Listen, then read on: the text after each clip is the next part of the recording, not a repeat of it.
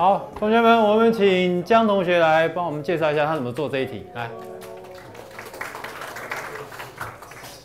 来，你就直接讲。好，要呃一开始做这个中间做一点嘛，就对它的向量的每个元素做偏轨。好，得到这个。所以这 S 偏轨是最外偏轨的。然后这里就等于这里啊，然后这里开始等于这里，就这么。哦，好，好，谢谢江同学。哦，应该就是很直觉，就是带进去，答案就出来，一比答案就刚好一模一模一样。所以，但是你一定要做一遍，你才能验证这个公式是怎么出来的。好，那刚刚有同学问到说，就是一个矩阵不是可以表示成什么？你刚刚讲，一个矩任一个矩阵可以表示成对称矩阵和反对称矩阵的和，是不是？但你讲的这件事情是都都成立，一定会成立。就是我任何一个矩阵，任何一个矩阵 b，我可以表示成二分之 b 加 bt 加上二分之 b 减 bt，这个意思嘛？对。那对于任何一个矩阵，这是一个，这一定是一个对称矩阵，这一定是一个反对称矩阵。但你讲的没有错，但是跟我们这边是没有相关的。我们这边只是讲说，任何一个二次式 quadratic form，你可以表示成这个样子。嗯。好，那你可以假设 A 是对称的。假如果今天给你一个 quadratic form，A 不是对称，你可以把 A 把它代换成 A 加 AT 除以二，它得到是同样的 quadratic form。那这样的话，你这个 a 就一定会对称，是这个意思。对，代换，把它换过去，因为你换成二分之 a 加 at 的话，它得出来还是同样一个式子，这个式子是不会变的。就是我刚刚讲的，只要这两个加起来等于四，它算出来都会等于原先的式子。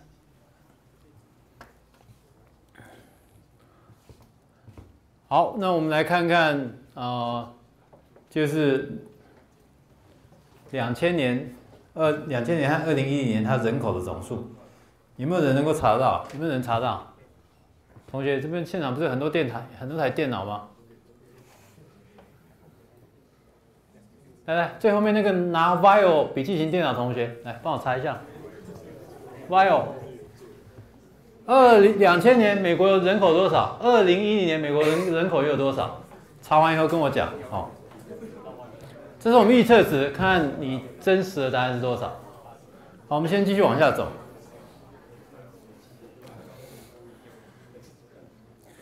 那么你如果在 MATLAB 下面，你直接直接输进去 sensors，你可以直接对 sensor 进行这个利用多项式来进行这个 curve fitting。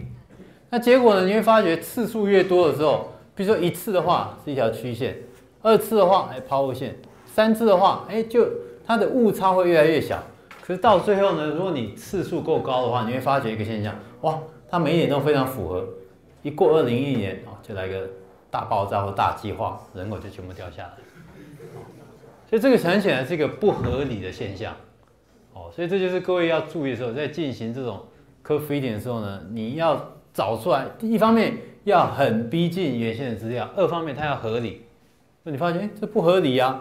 这难道是发生世界末日了吗？哦，不合理，所以这个是不对的。好，所以你就变成说，你要在这件事情上面呢，你看原先的资料点，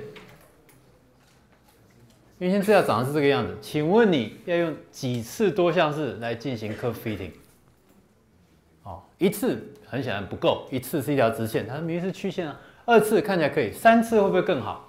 四次呢？那变成你要选这个排名后面的 order 这件事情，变得是一件很重要的事情。好，那我们，嗯，我们往下走。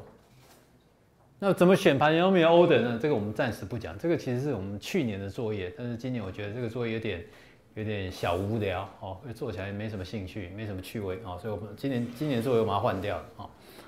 好，那如果说你进你给我一个多项式呢，我可以进行。利用这多项来进行这个 polynomial fitting，或叫多项式的拟合。好，那多项拟合一一天到晚常常碰到，所以 MATLAB 有一些函数可以让你用。第一个叫 polyfit，哦，polyfit 叫 polynomial fitting，一个叫 polyval polynomial 的 value 求它的值哦，所以你就可以直接用它。你看我们这里就是我刚刚是漏掉讲的是有没有用一个 polyfit 资料送进去，这是它的年份的资料，这是它的正确人口。那我要用 second order order 等于二，c 大值就出来了。哦，所以你就不用在那边瞧。我们在前面有没有要把 A 找出来？这个 A 要把 A 找出来，B 找出来，然后又反刍，再把 C 的找出来。那不用，它都帮你包的好好的。哦，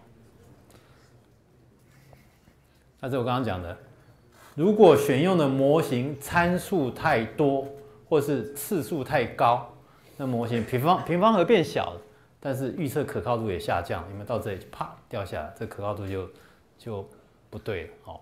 所以线性回归的成功与否和所选取的模型有很重要的关联性哦。只要参数越多，它的平方误差一定会越小，这个是可以用数学来证明。而且你可以想看，如果参数的个数呢是等于资料点的个数，平方误差一定会等于零哦。在正常情况下，它会等于零，但这并不表示预测会最准，因为资料点还有很多杂讯哦，有些突然高一点，有些突然低一点，每年气候也都不太一样，都会影响到人口的变迁哦。那我们希望资料呢要能够很稳定的找出来的 model 要能够很稳定，所以呢，这时候我们并不见得每一次都希望平方它的误差等于零。换句话讲，误差越小，并不见得代表你的 model 越好，它中间有一个有一个平衡点在上面。所以这边讲，完全吻合资料的模型，代表此模型受杂讯的影响也是最大，那预测之准确度也会比较差。哦，所以这是你小心要必须要小心的地方。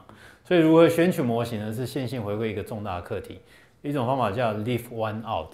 好，那这个方法我们今今天暂时不讲，我们先跳过去。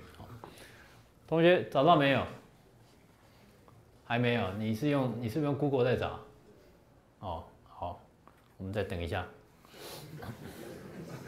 你今天一定要找出来，不然你不要回家啊，好不好？那碰到我们刚刚讲是单输入单输出，那我们有一个有一也有多输入跟单输出。多输入呢，这边就整个变成一个有没有？这个 x 呢变成是一个向量，这边也是一个向量哦。整个这些函数呢，f1、f2 呢，这些都叫做 basis，叫基底函数。那这些基底函数呢，就是反正它就帮你算出一个值出来。那那这些呢，都是我们的线性的参数，a1、a2 到 an。都是 y 的线性参数，所以是整个还是一个线性的模型。那同样的，我如果要找出来这个线性模型里面的最佳参数时，做法完全一模一样哦。我就把几个点带进去，我假设有呃 m 个点带进去哦，我就一路把它带进去，然后写成矩阵的格式就变成这个样。这边有 m 个点在这里，这边有 n 个基底函数哦。那一层，那希望我希望它等于 y，但不会刚刚刚好等于，所以这个这个就是我的 a，这是我的 c 的，这就是我的 y，好，所以这误差项呢就变成误差项是 y 减 a c 的，所以我把这误差项呢写成它的每一个元素的平方和，所以就变成 y 减 a c 的 transpose 乘上 y 减 a c 的，好，那怎么样求 c 达的最佳值呢？我刚刚一直讲没有跟你讲说 c 达最佳值怎么求，我跟你讲。说你可以直接对它微分，令它等于零，就得到我们要的最佳值哦。但是呢，如果写成这样的一个矩阵的形式呢，哦，它就有点有点 tricky 哦，就不是那么容易直接解出来。那就是我们一样可以做，就是最后得到答案呢，c 的最佳值会写成 a 的 transpose 乘上 a，它的 inverse 再乘上 a 的 transpose 乘上 y，这就是我们的答案哦。那答案为什么会这个样子呢？我们现在我们来试着做一遍看看哦。上下都写了，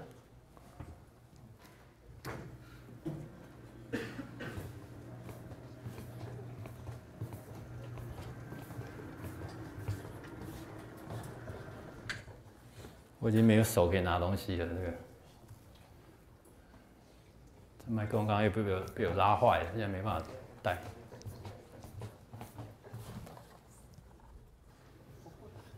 这什么东西啊？很脏啊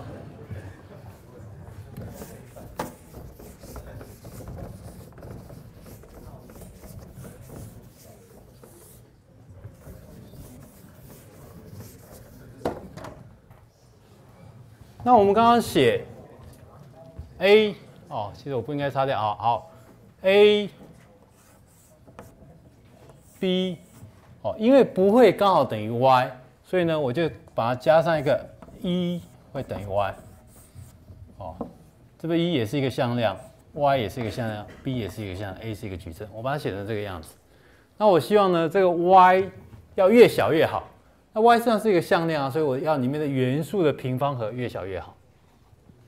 所以呢，我们直接看这里，哦，所以这个一会等于 y 减掉 ac 的，哦，我这边用西塔来表示，好，我这边也用西塔来表示好了。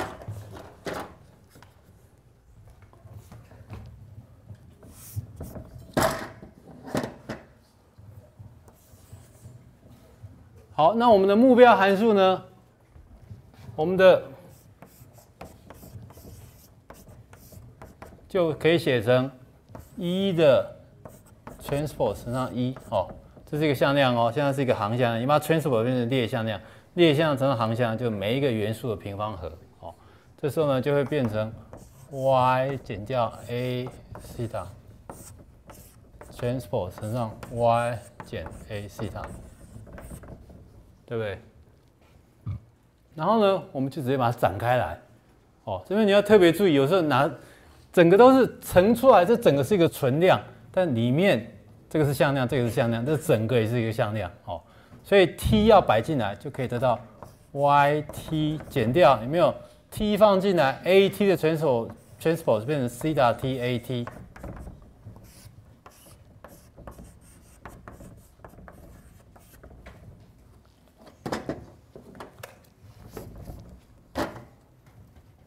好，我现在把它乘开来，然后对它做微分，哎，我们就会用到刚刚讲的那个公式。好，好，乘开来，就是这一项乘进去，乘进去，这一项乘进去，乘进去。好，但因为这个未知数在这里，这个是未知的，我喜欢让未知数的次数摆在前面。好，所以或者没关系，我们就一项一项乘。好，这一项乘进来变成 y t y 哦，乘进来减掉 y t a 西塔。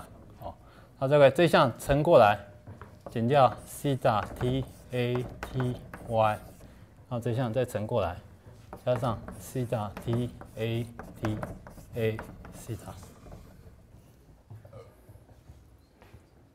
好，看起来有点复杂，但是你仔细看一下，这就是一个我们的 quadratic form，这就是一个二次式而已。那这个呢，都是一次式，哦。所以你稍微整理一下，譬如说把这个摆到前面来，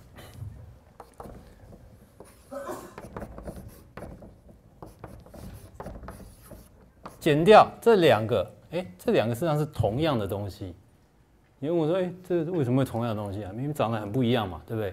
但是你要知道，这个一乘出来，y t 乘上 a 乘上 c 啊这是一个存量，这也是一个存量，但你这个东西的 transpose 会等于这个东西。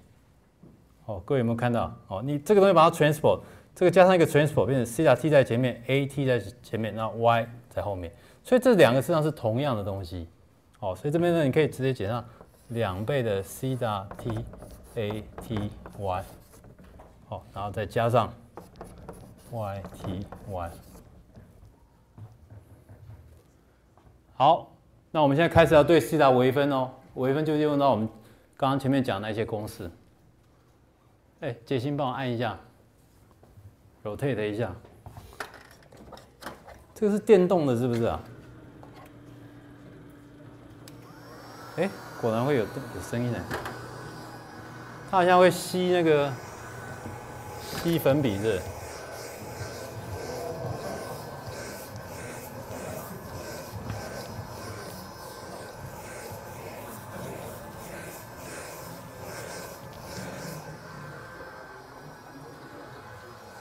看起来蛮不错的。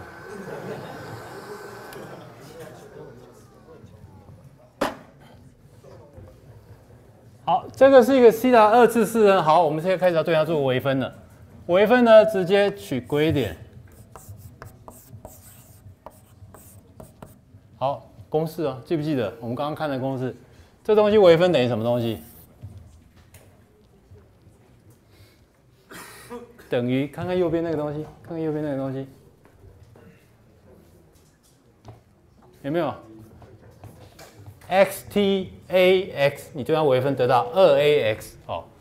那当然这个东西也是对称矩阵啊，a t 乘上 a 也是对称矩阵。为什么它是对称矩阵？因为你把它 transpose 会等于它自己哦。呃，就是 a t a transpose，你要 transpose 要摆进来之后要把它翻过来，所以变成这个 a 跑到前面去，然后加一个 t，然后这个 t 跑到后面去，好，两个 t 抵消掉，又回变成它自己。哦，所以这两个，所以这个就是一个对称矩阵。所以换句话讲，我们就直接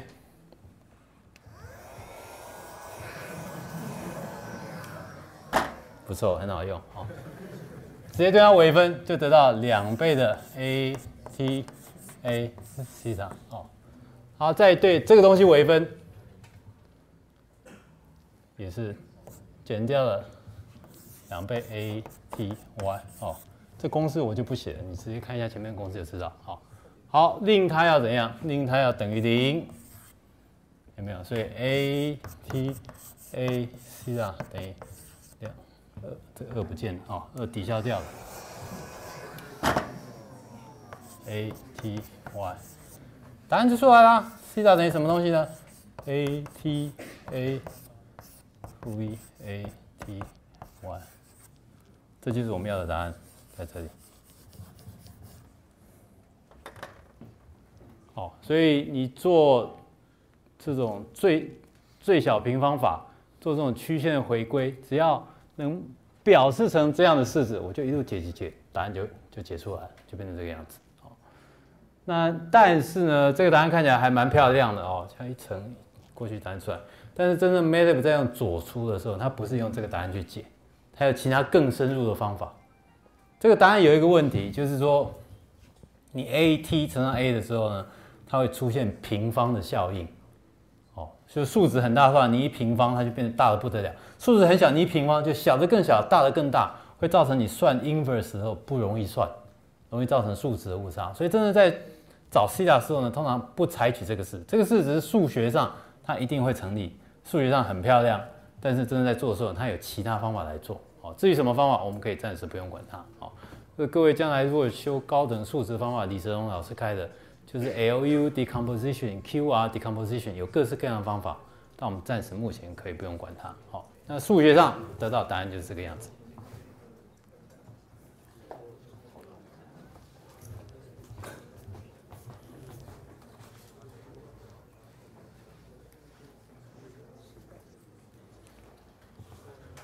所以，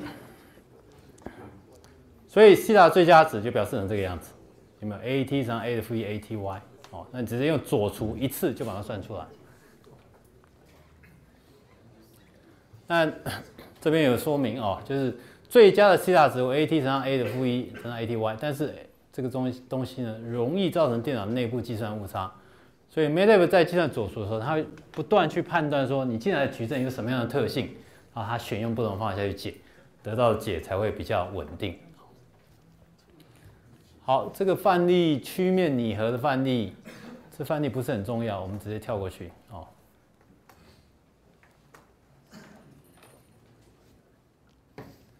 好，再过来呢是碰到是非线性回归的问题。哦，我们刚才线性回归，各位都看到哦，多项式回归也是线性回归，然后或者是呃多输入单输出的，你也可以把它表示成线性回归啊。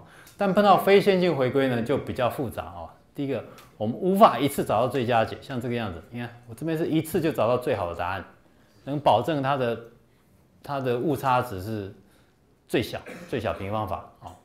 但是呢，碰到 nonlinear regression 没办法一次找到最佳解，而且我没办法保证你一定能够找到最佳解哦。你可以东找西找，可能找到一个蛮接近的，但是是不是最好的解，我没办法证明哦。所以你必须用各种。非线性的方法哦，所有的数学性质也都不是很明显哦。那么用数学来描述哦，假设我所用的数学模型长得是这个样子，y 等于 f of x 是你的输入，西塔是你的参数哦。那最后的误差值也是一样，yi 减减掉这个函数，然后把它平方起来，然后全部加起来，这就是我的总平方误差。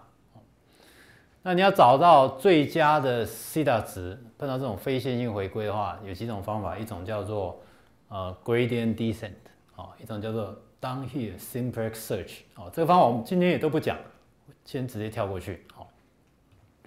那么我们来看一个范例，假设呢，我们所用的数学模型是这个样子，a one 乘上一的 lambda one x 加上 a two 乘上一的 lambda two x，哦，这两个都是一个指数函数，哦，两个把它加加起来，哦。那这时候你可以看到，a one 和 a two 对 y 来讲，这是一个线性的参数，因为它有没有跟它是处于同样的地位。但是 lambda 很显然就不是线性的，因为它是出现在指数。哦，那总平方误差呢，我可以表示成这个样子。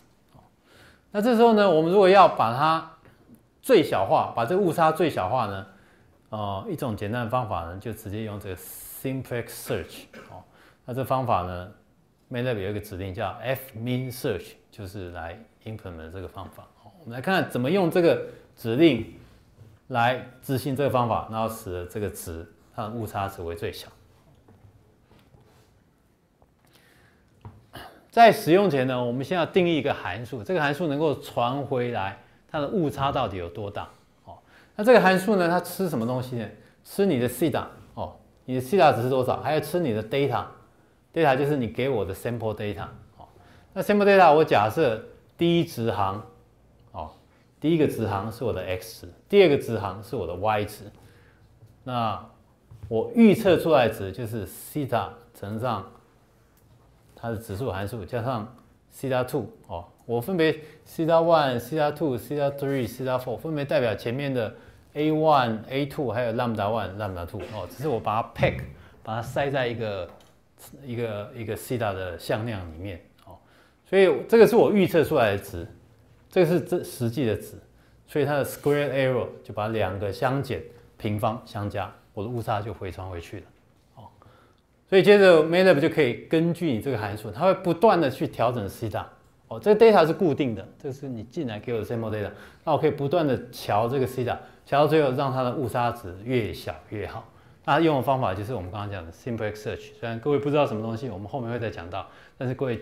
你可以想象，那就是一个最佳化的方法哦，就很像我之前跟你讲，是瞎子在走路哦，瞎子在走路，他要走到一个最低点嘛，我要找这最小值，那就拿拐杖点一点哦，这个低，哎，这个更低，哎，这边更低，哎，这边又变高了，好，我就往这边走，再走一步，然后再点一点，点一点，看哪边最低，就继续走下去。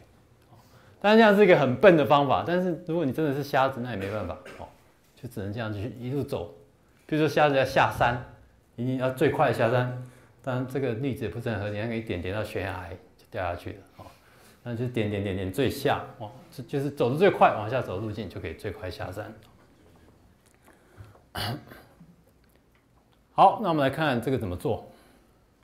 我们用 fmin search 来做这件事情哦。我们把 data load 进来哦，data 就是我们的 training data。那么 c 塔呢？c 塔零呢是我们的起始。刚开始呢，我们要先猜一组词。同学，人口找到没有？好，找到了，来说一下。我们回去看合不合理。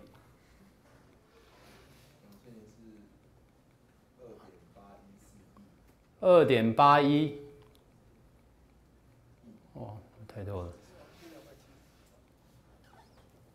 两千年多少人？二点八一，所以是二八一喽，二八一百万是。二八一万，所以我们的预测还比较低一点，它人口更多。二零一零年呢？二零一零是三点零八七亿，三零八。好，所以我们误测都偏低，所以表示它人口还是增长蛮快的。好，好，我们继续往下看。当然，你可以把二零两千年和两千二零一零年的资料一起加进来，再训练一遍。那就可以得到一个更准确的结果，哦，那就可以预测下个十年它的人口数有多高。好，我们刚刚那个函数呢，叫做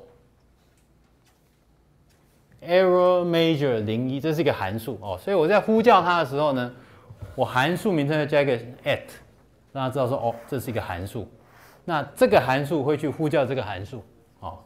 那我要把西塔零，就是刚开始我猜的值，就是刚开始我起始点嘛，我要用拐杖拐点的时候，我第一个起始点是西塔零，所以西塔零在这里。好，我这边为什么要放一个空集合呢？呃，空矩阵呢？因为这这空矩阵本来是要放说 f min search 里面有各式各样的方法，比如说你点到底要点几次，点到后每一次走要走多长，都放在这些都可以由这里来指定哦。那这里我放一个空呃空向量或是空矩阵，意思是就是表示说我全部用预设值，我不要去指定它哦。那你你如果说你想改变这里的话，你就可以打 help f min search，它就跟你讲说这边要怎么抢哦。那这个 data 呢也比较特别，这个 data 是要送到这个函数里面。哦，你说这个函数要吃两个东西，一个吃是 c 的起始值，然后再过来吃这个 data。那 made matlab 就会在这边 c 顶从 c 顶开始敲，一路敲敲来敲去，最后帮你找出来这个函数的最小值。好，假设跑完了，他跟你讲说这边 tick tack，跟你讲，哦，我花了多少时间，然后这时候呢，我再再跑一遍，再算出来，然后把图画出来，看结果是怎么样哦。所以最后得到的结果是类似这个样子，计算时间大概零点零三秒哦，那这是这个拉出来一条曲线这样子哦，那误差平方和呢是五点三三乘以十的负一次方，所以这是一个不错的方式哦，就是丢给他让 mate 帮你跑，啊，最后他就会找出来一条曲线时的每一点到这曲线的平方和为最小。但这不是最佳的方法，这是最好，这是其中一种方法。我们还有一个更好的办法，我们来看一下改良方法哦。我们前面呢是把所有的参数呢都视为非线性的参数，就把它丢到 f min search 里面去跑。但是你仔细看看这个函数，这个函数呢 y 等于 a one 乘上这个东西加 a two 乘上这个东西，但是 a one a two 这两个是线性的，只有 lambda one 跟 lambda two 非线性。哦所以我可以把它混合来做啊，混合来做的意思就是说，你给我任何一个 lambda one lambda two，我可以用我们前面讲的最小平方法，或是左除的方式，找出最好的 a one a two，那这时候再把误差吐出去。所以每一次我只要调整两个 lambda one 跟 lambda two，由 f min search 来找，由这个 simplex 下波式搜寻来找，那但是 a one a two 我还是保持由我们前面的。前面的公式来算出它最佳的 a one a two，所以这样做有什么好处呢？就是说在非线性参数固定情况下呢，我一次可以找到最好的线性参数，所以搜寻空间维度由四降为二，最佳化会更有效率一点。好，那怎么做这件事情呢？也是一样，我用了一个新的函数叫 ever major two 哦。那我这个 lambda 呢，就只是我的非线性函数 lambda one 跟 lambda two。哦，data 一进来一样，我拆成 x 跟 y。那我把 a 矩阵找出来，a 矩阵就是我们这边的 a 矩阵，好，跟这边 a 矩阵一样，好，这边 a 矩阵一样，好，把 a 矩阵长长出来，长出来之后呢，我的小 a 这个小 a 事实上我就是前面的 a one a two 是我的线性参数，我直接左除，答案就出来了。哦，答案出来后，那我再把它的误差值把它吐回去。所以这时候每一次进来，每一次进来 lambda 呢，我就要算 a，哦，那算 a 是保证一定算到最最好的 a 值，所以这边呢就是 a 的计算呢会比较有效率一点。那原先要搜寻四个参数，现在就只剩下两个参数，所以一样下去跑一遍，那么几乎是一样。哦，lambda 零原始值我是用也是只剩下两个零零哦，那函数叫 error major two。哦，那直接把它送进去，然后看计算时间是多少哦。最后得到是计算时间是零点零二，那误差平方和是一点四七哦。我们看跟前面比起来，前面是多少？前面是五点三乘以十的负一，所以零点五三。但这边是得到是零点一四，所以我们表示误差又更小哦，所以表示我们这个方法更有效率，很快就能找到最小值哦，所以可以产生。较低的误差平方和所需要的时间也比较短哦。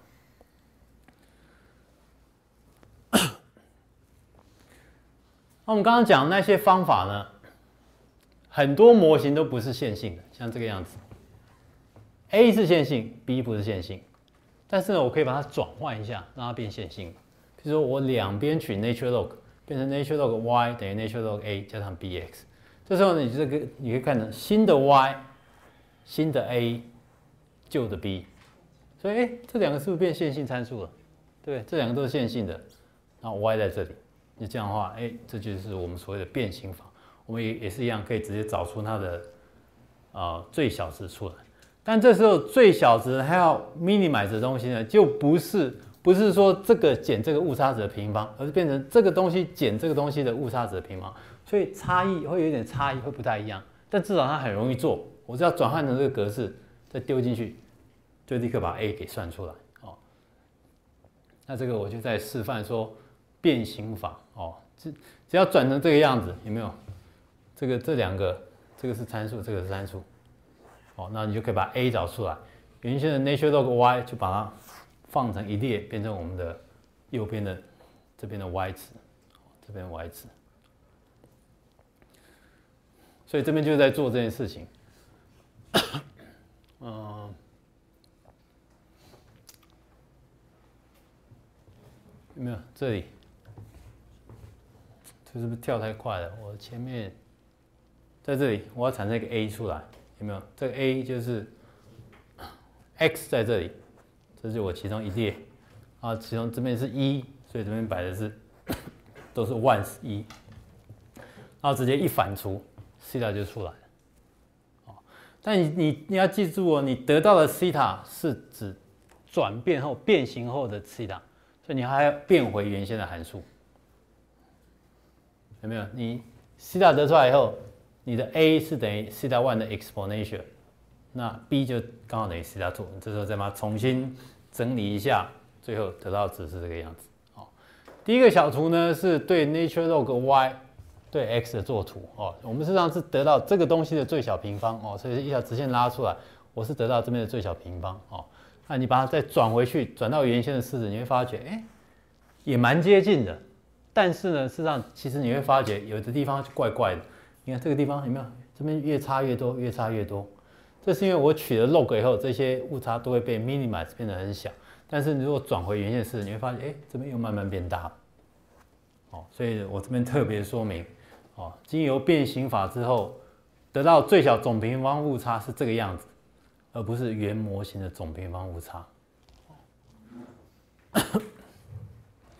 但通常这个一 prime 最小值的时候，一不见得是最小值，但也不会差太远。所以呢，你可以由这里再丢到我们前面的 f min search 里面，再做一些微调，就可以让它逼近的更好。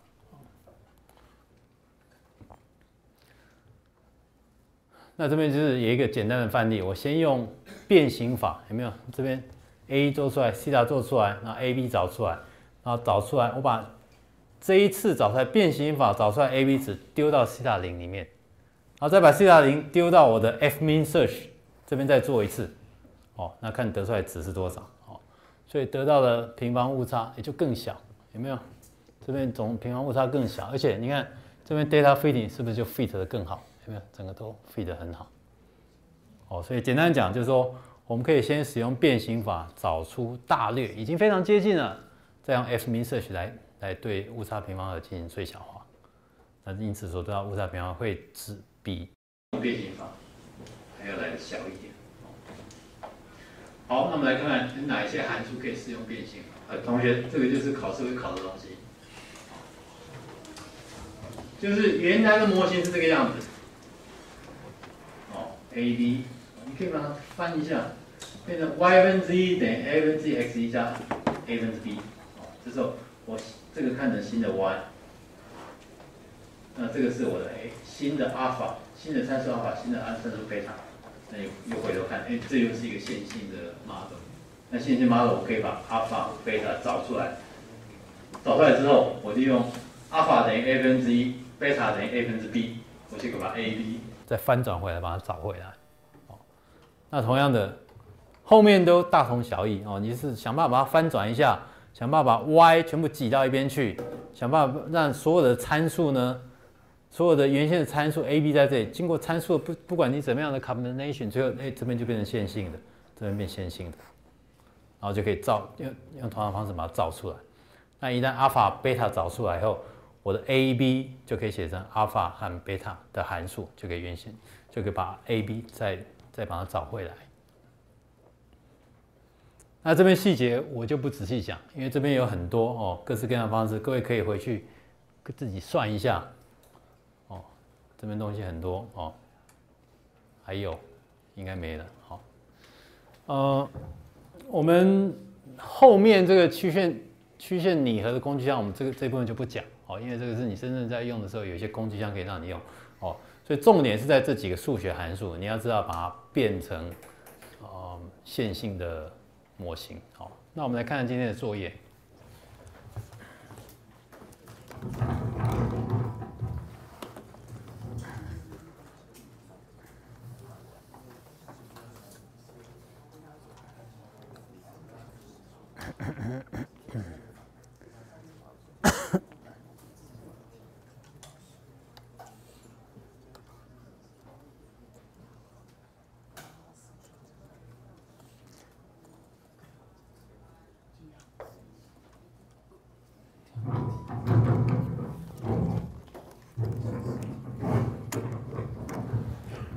那作业的第一题很简单，我就不讲，我直接讲第二题。好，第二题呢是假设说你有一堆资料哦，资料画出来是这个样子，